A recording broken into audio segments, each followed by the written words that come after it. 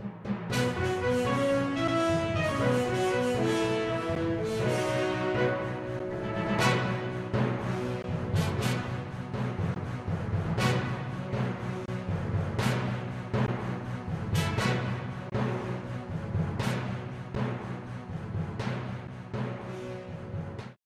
bismillahi raxmaan raxiim assalaamu calaykum waraxmatullaahi tacaala wabarakaatu kulanti wacaana wanaagsan daawadayaal idil ahaantiinba kuna soo dhowaada warka telefishinka caalamiga s b c oo xilligan idinkaga imanayo stuudiyaha uu telefishinku ku leeyahay magaalada boosaaso.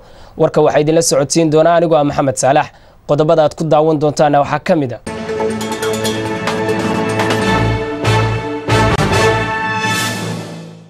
maxkamadda sare ee soomaaliya oo u yeedhay ra'iisul wasaaraha soomaaliya mudane sharmaarka iyo weliba wasiirka arrimaha gudaha ee dalka soomaaliya.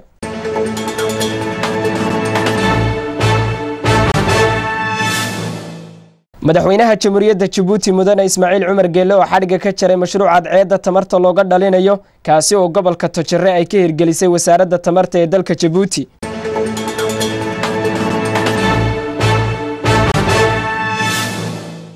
gudoomiyaha gobolka banaadir oo dalka dib ugu soo laabtay islamaantana kor meeray cusbitaalada la dhigay dadkii ku dhaawacmay qaraxii xeebta liido ee magaalada muqdisho.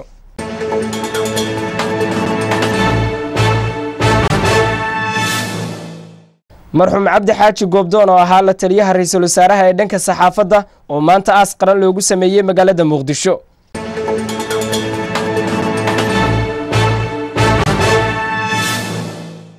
intaasi daawadayaal waxay ahaayeen qodobadii warka. Goordhow waxaad daawan doontaan warkaasi oo dhammaystiran hase ahaatee. Mar kale kulantii wacan daawadayaal ku soo dhowaada warka telefishinka s b c oo fidsan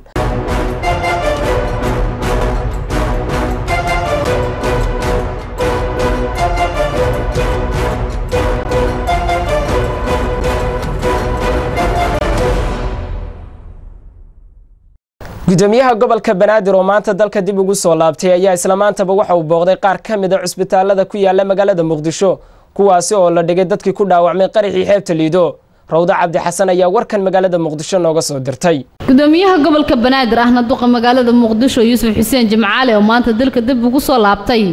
Kadib safar dalka dibaddiisa uga maqnaa ayaa booqasho ku maray liida seafood isbitaalada madiino kaysaney oo ay yeeleen dadkii ku waxyeeloobay qaraxyada ka dhacay. Liido kadib markii uu soo idlaaday kormeerka ayaa wuxuu gudoomiyaha la hadlay saxaafadda asagoo ka tacsiyeeyey wixii ka dhacay liida seafood oo markaasi uu ku sugnaa gudoomiyaha gobolka banaadir. Salaatu wasalaamu calaa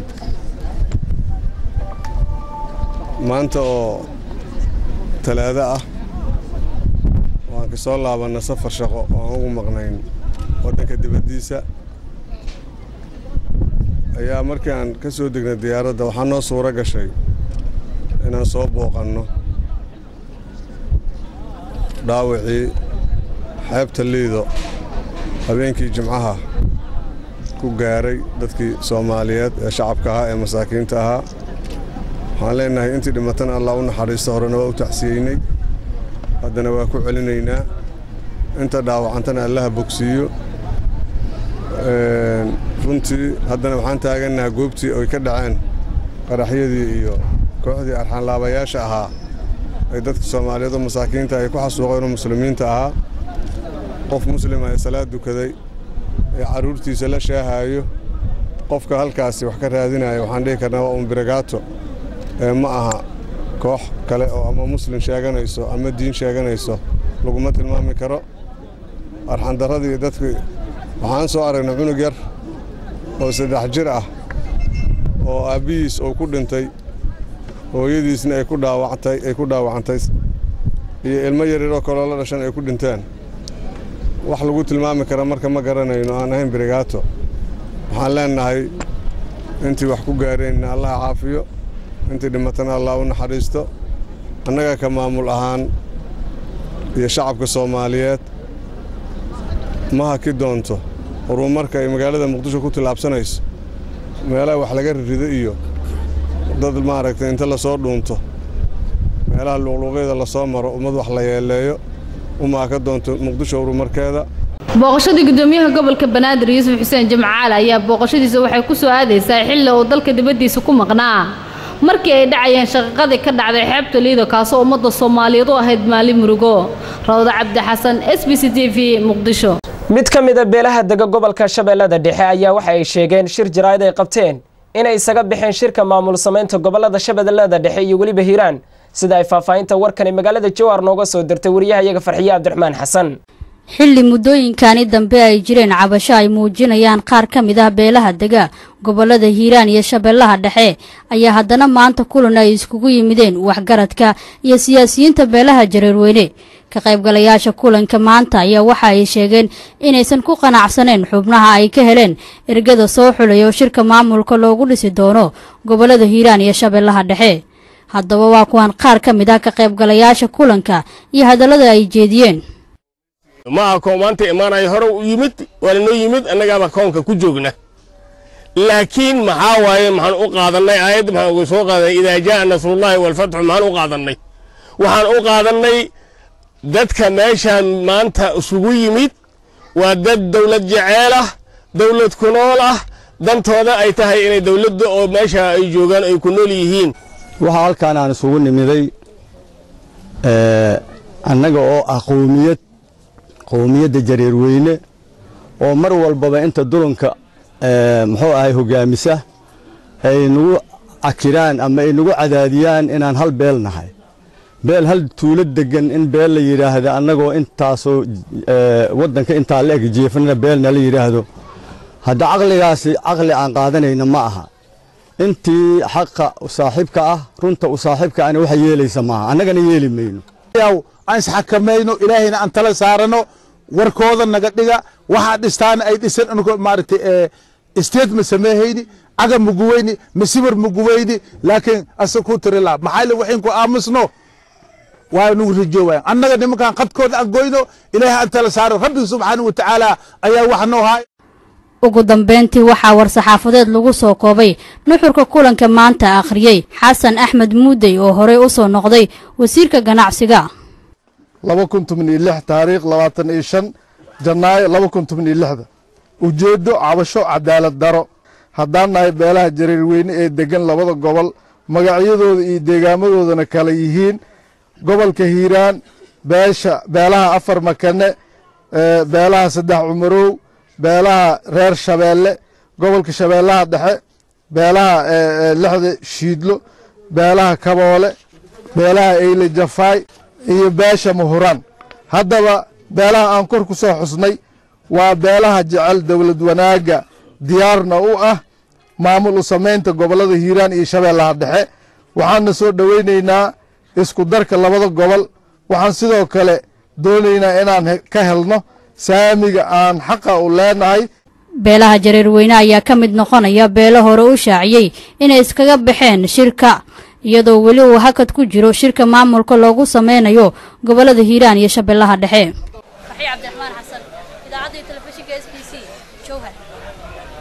agaasimaha guud ee cusbitaalka magaalada garowe cabdisalaan axmed jaamac ayaa warbaahinta s b c faahfaahin ka siiyey xaaladda bukaanada jiifa cusbitaalka guud ee magaalada garowe waryahayaga kayse muuse cali ayaa tafaasiisha warkani magaalada garowe nooga soo diray. Bukaanadan kala duwan ee jiifa isbitalka guud ee degmada garowe ayaa isugu jira kuwa ka yimid qeybaha kala duwan ee gobollada dalka soomaaliya iyo kuwa joogay gudaha deegaanada puntland gaar ahaan degmada garowe ee gobolka nugaal. Agaasimaha guud ee isbitalka garowe cabdisamed axmed jaamac ayaa warbaahinta s b c maray ku booqatay xarunta isbitalka guud ee garowe uga warbixiyey xaalada guud ee bukaanada jiifa isbitalka guud ee gobolka nugaal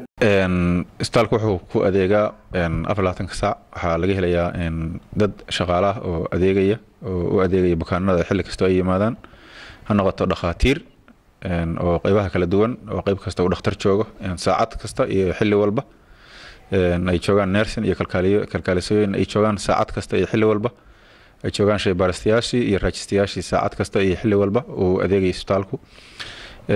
Marka waxaan dhihi karaa markaas xaalad fiican guud ahaan inuu isbitaalku ku sugan yahay oo uu bukaano kala duwan uu qaabilo.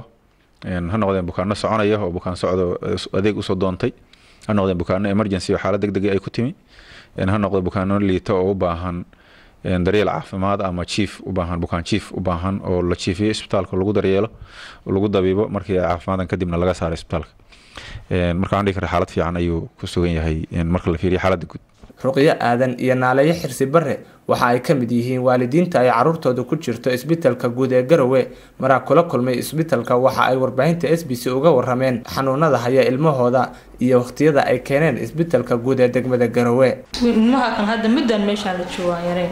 Ilmahan warooya hadda laakiin markii hore xanuun feeraha iyo qufac iyo matag iyo shuban iyo xanuuno badan buu qabo waxaan ka keenay soonaha godob jiraan meelayaa baadiyo ka soo hoosa xeebtaasa xaaladda aad buu u xanuunsanaa keenay kadada talatina badan dhul badan baa naloo diraan soo mahago hadda dawo saacsa ma qaata ilmahan uu lidanyaa hadeer anuga waa intaa uurka ah buu ka jiran yahay. Intaa uurka waa dibidhay saasay noqotay.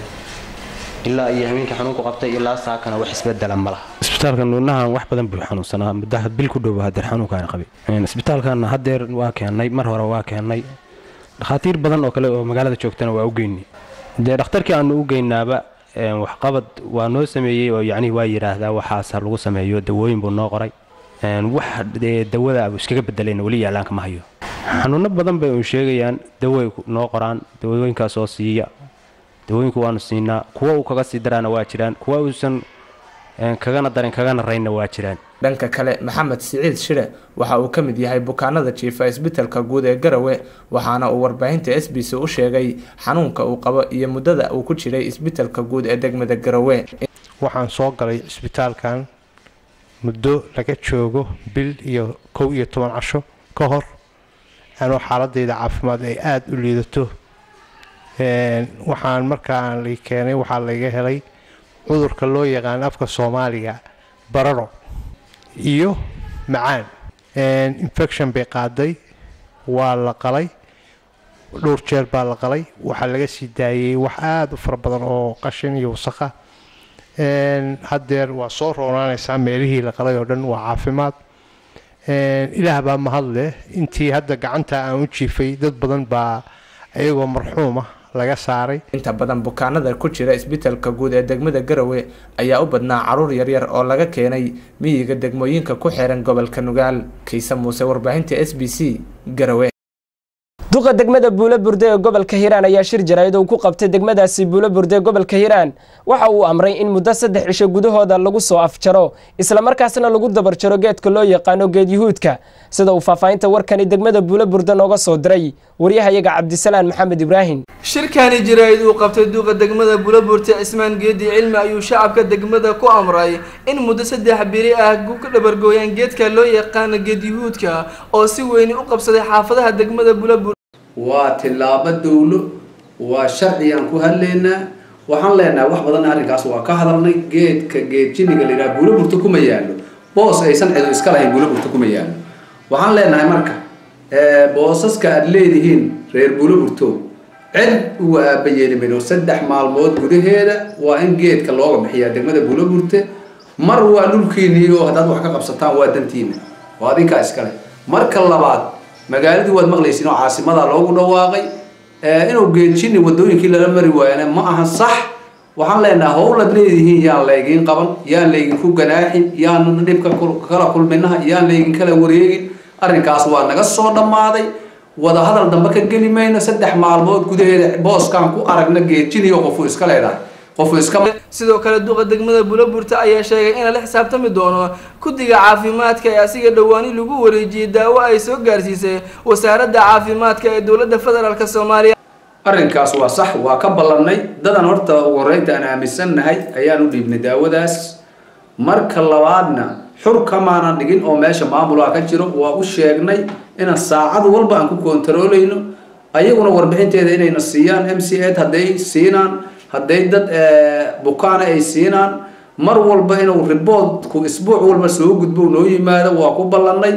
Wax allaale wixii aan ku aragno oo isdabamarsiinane sharciga anbaan horkeeni doono ayagana waa u sheegno way ogyihiin sidoo kale duqa degmada buulaburta ayaa sheegay in tallaabo laga qaadi doono dadka barobagandada ka dhex wada shacabka gudahooda. Arrinkaas annagu waxaan ognahay buulaburte in dad badan oo barobagando wado oo dhahayo nabadu ma jirto oo dhahayo lama soo mari karo. Oo dhahayo ganacsigu ma yimaado ama dana qaasa leh oo keligood wax la imaan jira inay jiraan waan ognahay. Marka maadaama magaaladii furantay haddoo cid kasta wax la timaaday ay hawada ka furantay dhulka ka furantay dad diidayo nabadaas iyo barwaaqadaas inay buliburta joogaan oo dana qaasale ama dad u shaqaynayo aan wadanka wax ku lahayn waan ognahay waa noo tilmaaman yihiin waa noo cayiman yihiin mana day doono tilaabo sharcigan ka qaadi doono. Haddaysan arrimahaas ka waantoodin cabdisalaan maxamed ibraahim cabdisalaan habbi idaacadda iyo tv-ga s b c. Isuduwaha cusub ee wasaaradda howlaha guud iyo guriyeynta ee gobolka saaxil ayaa xilka kala wareegay isuduwihii hore ee wasaaraddaasi ee gobolkaasi saaxil. Sida warbixinta warkani magaalada berbere nooga soo diray waryahayaga sadiiq carab salebaan isuduuha cusbaa loo soo magacaabay wasaaradda howlaha guud iyo guriyeynta gobolka saaxil ayaa maanta xilka kala eegay isuduwii hore. Munaasabadan loo sameeyey xil wareejinta ayaa waxaa ka soo qayb galay. Agaasimaha guud ee wasaaradda howlaha guud iyo guriyeynta somalilan badhasaabka gobolka saaxil gudoomiyaha guddida garnaqa dhulka gobolka saaxil qaar ka tirsan shaqaalaha wasaaradda ka howlgalay gobolka saaxil ugu horeyna waxaa ka hadlay gudoomiyaha guddida garnaqa dhulka gobolka saaxil maxamuud saleebaan tallaabo waxaana hadaladiisii ka mid ahaa. Waxaan laba kelmadood kelmad odhanayaa labada agaasime labada isuduwe halka loo kala wareejinayo. Isuduwaha hore waxaan leenahay waan sii maca salaamaynaynaa isuduwaha cusubna waanu soo dhaweynayna waxaan odhan lahaa xilku waa waa waa meerto. Maalinba qof baa qabta maalina qof baa imaada maalina qof baa ka taga waxaa kaloo ka hadlay xil wareejintan. Isuduwihii xilka lagala wareegay aadan axmed. Xilka meerto nina kuma dhalan aniguna waxaan ku imid digreeto iyo dal golay wareejin. Waxaana kaga tegayaa dee ma garanaysaa amar dambe kula dardaarmayaa isuduwaha cusub shaqadu waa shaqo kulul. Labada gelba waanu shaqaynaa. Marmar ilaa labaiyo tobanka waanu shaqaynaa shaqaalaha. Iyagana waxaan kula dardaarmayaa dee si ayna shaqayn jirteen iyo si kasi wanaagsan in isuduwaha cusub loola shaqeeyo. Isaguna halkaa ka hadlay isuduwihii cusbe aadan maxamed aadan aadan daayeero waxaana hadalladiisii ka mid ahaa. Maanta waxaan dareemayaa in mas'uuliyadii ay ifuushay mas'uuliyadda ay fuushay ilaahay waxaan ka baryaya inuu ilaahay horta igu garab galo waxa weeye maalinaan maanta ahayn buu ilaahay kaa xisaabinay. Xilka aada hayso ama ha yaraado ama ha badnaado taa waan xaqiiqsanay. Waxaa kaloo niyadeyda ku jirta inaanan meeshan u imanin inaan manfac ka raadiyo ama aan yacni nolol aan aanbido. Leanno meeshii haddaad noqoto qof nolol ka raadinaya waxay kugu kalifaysaa in hadhow toolo ka tegidda ama kakaxaynta lagaa kaxeeya aada dhibsato. Gabagabadii waxaa iyaguna halkaa ka hadlay agaasimaha guud ee wasaaradda howlaha guud ee guryeynta somalilan dar maxamed cali iyo badhasaabka gobolka saaxib jaamac yuusuf waxaana hadaladoodii ka mid ahaa. Waxaan maanta ujeeddadayadu ahayd sida hore loo sheegayba inaanu u samayno kala wareejin laba isuduwe isuduwahaygii hore aadan iyo isuduwahayga cusube aadan. Isuduwaha hore waan u sii duceynayaa waxaan leeyahay ilaahay qabtaan kugeeyo isuduwaha cusubna waxaan leeyahay mas'uuliyad baad qaaday culus. Waxaa ilaahay iga baryaa in mas'uuliyadda lagu asturo. Hawey labada iskuduwe iskuduwaha cusub iyo iskuduwaha xilka sii hayay oo loo kala wareejinaya xilka. Anigu hadal badan odhan maayo aniga qudhadeedu waan cusubahay aadano. Isku duwe aniga qudhadeedu waan cusuboo dhowr iyo labaatan maalmood baan joogaa.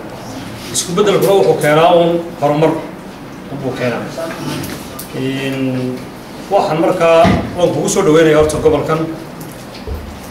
Isku duwaha hore ee xilka sii hayayna inkastoo dee anoo cusub la bedelay waxaan leeyahay meesha alla ka khayr wada ilaahay baan kaaga baraynaa. Carab saleebaan telefishinka caalamiga s b c magaalada berbera axmed muumin seed ayaa siyaasiyiinta ka soo jeeda gobollada galbeed ee somalilan u qabtay kulan lagaga tashanayay isdiiwaangelinta sida uu warbixinta warkani magaalada hargeysa nooga soo diray khadar gureyte gudoomiyaha xisbiga mucaaradka ucud ee gobolka saaxil marwar roode axmeyaas ayaa maanta shacabka reer berbera ugu baaqday inay qaataan kaarhka diiwaangelinta codbixiyaasha waxaana hadaladeedii ka mid ahaa. Waxa weeyaan u soo gudbinaya ummadda gobolka saaxil degta iyo gobollada kale oo dalka oo dhan in ay ka qayb qaataan inay qaataan kaarhka diiwaangelinta ee lagu qaadanayo codka doorashada lagu gelayo kaasoo ah kii ay dadka oo dhan ay wax kaga xidhnaayeen ee ahaa in la qaato kaarhka si loogu galo codka doorashooyinka oo aad ugu kala doorato. Cidda aad doonayso iyo cidda aad reebayso. Kaasaa kuu haya gacantaada ku haysa. Weliba waxaan aad ugu sii dhiirigelinayaa dadka degan miyiga in la gaadhsiiyo halkooda loogu geeyo oo ay xafitaan waraaqahaasi waa waraaqo aan doonaya in la ilaaliyo si aana idinka jilcin ama idinka googoyn oo idinkoo tacab galay hadhow aana idinu waayan codka waxaan leenahay bulshada reer somalilan oo dhan meel kastay joogaan. Ha ka qayb qaataan diiwaangelinta codka ay ku qaadanayaan kaadhkaa ha la doonto wakhti ha la siiyo ha la raadsado. Waa arrin muhiima waa arrinta ku xidhan doorashooyinka arrinta ku xidhan muwaadinnimadeenna waa arrinta ku xidhan inaynu wax kasta oo jira ku kala saarno. Waxaan leeyahay reer somalilan oo kaadhka ha dayicina reer saaxilowna waxaan idinku gubaabinayaa si gaara inaa uga qayb qaadataan maadaama anigu aan gobolka saaxil matalo waxaan leeyahay diiwaangelinta ha ka qayb qaataan cuqaasha dhallinyarada haweenka cid kastaaba. Waxaan leenahay waan soo dhaweynaynaa inay si fiican u socoto. Komishanka doorashooyinkana waxaan u diraynaa inay hubsadaan goobaha gobolka saaxil cabashooyin badan baa ka jirta horena uga dhacday. Had iyo jeer gobolka tijaabooyin baa lagu galay oo hore noogu dhacay waxaa jira goobaha aan ka codaynaynaa way nagu yar yihiin. Dadka rar baa nagaga dhaca. Mar kasta wakhtigu wuxuu naga dhacaa. Iyada oo marna xaggaa loo sii socdo marna xaggaa loo soo socdo oo goobaha iyagii ay yaraadeen kala fogaadeenna. Waxaan leenahay komishonku gobollada ay ka jiraan cabashadu sida kuwa saaxil oo kale. Komishonku hoos ha u eegaan. Ha loo kabo wixii ay u baahan yihiin. Meelaha laga degdegay cabashooyin ku jiraanna ha lagu noqdo waxaan leenahay doorashooyinkii hore dhibaatooyin baa naga qabsatay. Tii golaha deegaanka dhibaatooyin baa naga qabsatay. Komishanka waxaan leenahay maanta idin dhaliili mayne waanu idin dhowraynaa laakiin wixii ka soo baxa doorashada iminka codka kaadharka aad bixinaysaan kabacdi ayuunbaan wax ka odhan karnaa. Carab saleeman telefishinka caalamiga s b c magaalada berbera. Wariye cabdimaalig muuse cooldoon oo ka mida wariyaasha gobolka togdheer ayaa maanta xorriyaddiisa dib u helay kadib maalmo uu ku xidhnaa xabsiga dhexe ee magaalada burco sida uu faahfaahinta warkani magaalada burco nooga soo diray waryahayaga cabdulaahi alcadaala. Waxaa maanta oo salaasaha dib u helay xorriyaddiisii muwaadinimo saxafi cabdimaalig muuse coldoona iyo sidoo kale sawirqaadihiisii gaarka ahaa khadara bokor oo muddo sideed casho oo xidhiidha ugu dambeysay ku xidhnaa. Xabsiga weyn ee magaalada burco ee xarunta gobolka togdheer kadib dadaalla wada jira ururka saxafiyiinta somalilan ee solja warbaahinta soomaalida iyo sidoo kale madaxda gobolka togdheer iyo kuwa maxkamadda sare ay ka sameeyeen sii deyntiisa ayay dambeyntii ku guulaysteen inuu xorriyaddiisa dib u hantiyo wariye cabdimaalig muuse coldoon waa kan ugu horreyn ku-xigeenka guddoomiyaha ururka saxafiyiinta somalilan ee solja kayse axmed dagaale oo dareen farxadeed ka muujiyey sii deynta wariyaha waxaana uu geesta kale saxafiyiinta u soo jeediyey. Inay dhowraan anshaxa iyo asluubta saxaafadda kana digtoonaadaan wax kasta oo carqalad ku keeni karaa waxaa maanta aadaan farxad nooga ah inaanu haddana ururka saxafiyiinta somalilan soljo aanu xabsiga ka soo dayno wariye cabdimaalik muse coldoon oo muddo sidee cishaha ku jira xabsiga. Waxaan u mahadnaqaynaa oo arrintaa qayb dhan ka qaatay. Barasaabka gobolka togdheer maxamed aadan qabo barasaab xigeenka barasaab ku-xigeenka gobolka togdheer maxamed diryaxayd guddoomiyaha sare ee maxkamadda sare barofsar aadan xajacali mas'uuliyiintaas oo dhammaantood gacan ka geystay sii ay noo ogolaadeen dhammaan mas'uuliyiintaasi aad ayaan ugu mahadnaqaynaa. Waxaanu leenahay ilaahay khayreed ka siiyo. Waana noo guul maadaamaan xabsiga ka soo daynay wixii kalena aanoo dibadda jooga siduu sharcigu noo dhigayo ayaanu istifaaci doonaa. Dhammaan suxufiyiintu meel kasta ay joogaanna. Waxaanu mar labaad iyo mar saddexaad ku baraarujinaa inay noqdaan kuwa ilaaliya anshaxa saxaafadda iyo xeerarka saxaafaddu leedahay. Kana foojignaada wax kasta oo dhibaato u keenaya naftooda geesta kale cabdimaalig muuse coldoon ayaa dhankiisa markii la sii daayay sharaxay. Sida uu arko sii deyntiisa wuxuuna u mahadnaqay cid kasta oo gacan ka geysatay inuu xorriyaddiisa dib u helo maanta oo isniina waxaan filaya taarikhda intahay lix iyo labaatanka bisha koobaad labada kun iyo lix iyo tobanka.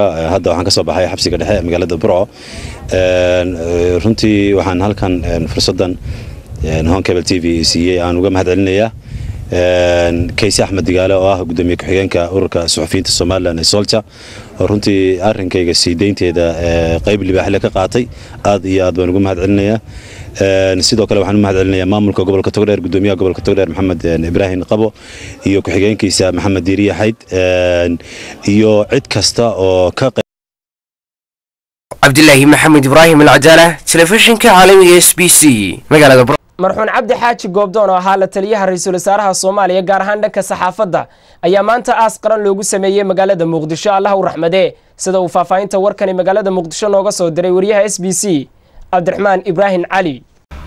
Allah u naxariistay waxaa maanta magaalada muqdisho gaar ahaan qabuuro ku yaalo isbitaal madiina lagu aasay. Cabdi xaaji goobdoon oo ahaa qabiir saxaafadeed muddooyinkii ugu dambeeyeyna waxa uu ahaa la taliyaha dhanka arrimaha saxaafadda ra'iisul wasaaraha dalka cumar cabdirashiid marxuumka ayaa waxaa la sheegay in xalay saqdii dhexe uu geeriyooday kadib markii naqaska uu ku xirmay waxaana aaskiisa ka qayb galay. Xubno ka tirsan dowladda federaalk soomaaliya uu hogaaminayey wasiirka warfaafinta dowladda soomaaliya maxamed cabdi xayir maareeye aaska kadib waxaa warbaahinta la hadlay dad badan oo wax ka garanaya taariikhda marxuumka geeriyooday. Ugu horeyntii cabdi xasan cawaale qeydhiid ayaa tacsi u diray dhammaan eheladii iyo qaraabadii uu ka geeriyooday marxuum cabdi xaaji goobdoon wuxuuna ka codsaday ummadda soomaaliyeed in ay cafiyaan. Walaalkeen oo maanta naga tegey cabdi xaaji goobdoon. Waxaan ilaahay uga baryaynaa oo u ducaynaynaa inuu maaragtay naxariistiisii inuu siiyo. Wuxuu ahaa waxaan uga tacsiyeynaynaa soomaaliya oo dhan. Bahda soomaaliya saxaafadda soomaaliyeed warbaahinta oo dhan qoyskii iyo eheladii iyo walaalihii iyo caruurtii iyo reerkii uu ka geeriyoodayba waxaan maaragtay u leenahay samir iyo imaanna ayaga allaha ka siiyo. Asagiina ilaahay qabrigiisa ha u waasiciyo allaha u naxariisto. Cafa aliya masaabax ummadda soomaaliyeed inay cafiso u ducayso walaal aan dhib lahayn soomaaliyana u soo shaqeeyey taariikh fiican iyo magac fiican ku dhexlabuu ahaa. Maaragtay magacaas iyo sharaftaas iyo jacaylka dadkiisa uu u qabay soomaaliya. Ilaahay waxaan rajeynaya ilaahay xaggiisana in laga abaalmariyo. Dhinaca kale abuukar xaaji goobdoon oo ah walaalka la dhashay marxuum cabdi xaaji goobdoon ayaa warbaahinta ugu warbixiyey taariikhda walaalkiisa oo wax badan uu ka garanayey xalay saacaddu markay ahayd afartii habeennimo salaada subax ka hor ayaa allah u naxariistay walaalkay cabdi xaaji goobdoon dadku u yaqaanaan cabdi xaaji gobdoon laakiin magaciisa saxda yahay cabdiraxmaan xaaji maxamed gobdoon uu ku geeriyooday isbitaalka daarushifa ee magaalada muqdisho cabdi shalay barqanimadii ayaan wasaaradda warfaafinta wada joognay meel kaabiyaan wada fadhinay ku sheekaysanaynay ku kaftamaynay arrimo famil ka sheekaysanaynay wuxuuna qabanqaabinayay oo shalayba bilowday xuskii aabaheen ani isagana dhalay xaaji maxamed gobdoon oo shalayba qur'aan akhriskiisa bilowday ayuu qorsheynayay oo igala hadlayay saasaan rabaa inaan sameeyo saasaan rabaa inaan sameeyo. Allah u naxariisto cabdi wuxuu ahaa oday soomaaliyeed wuxuu ahaa ruugcaddaa saxaafadeed wuxuu ahaa nin jecel dhaqanka soomaalida iyo afka soomaaliga inuu horumaro. Wuxuu ahaa nin mataqaanaa raggii la dhihi karo aabbayaashii saxaafadda soomaalida dhidabada u aasay ayuu gabdoon. Ka mid ahaa allah u naxariiste cabdi wuxuu ku dhashay magaalada jigjiga dowlad deegaanka soomaalida ee etoobiya allah u naxariistay cabdi xaaji goobdoon ayaa muddooyinkii ugu dambeeyey u ololinayay jiritaanka afka soomaaliga isagoona ka qayb galay. Munaasabado dhowr ah oo lagu xuseeyey qoraalka iyo ku hadalka afka soomaaliga waxaana xusid mudan in uu qayb ka ahaa dadkii soo agaasimay in lagu qabto magaalada muqdisho ee caasimada soomaaliya.